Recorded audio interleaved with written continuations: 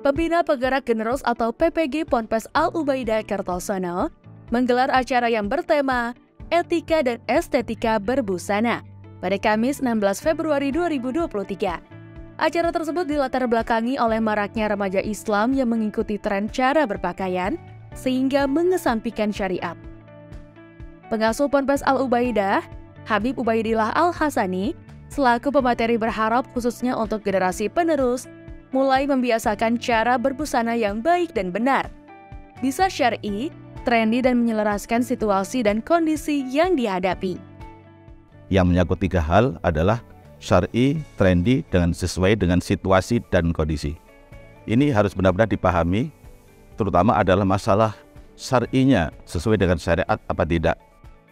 Kegiatan itu diikuti oleh generasi penerus mulai usia SMP, bidang tenaga pendidik dan pengurus PPG Ponpes Al Ubaidah. Antusias peserta sangat luar biasa. Kegiatan tersebut diakhiri dengan foto bersama dan ramah tamah.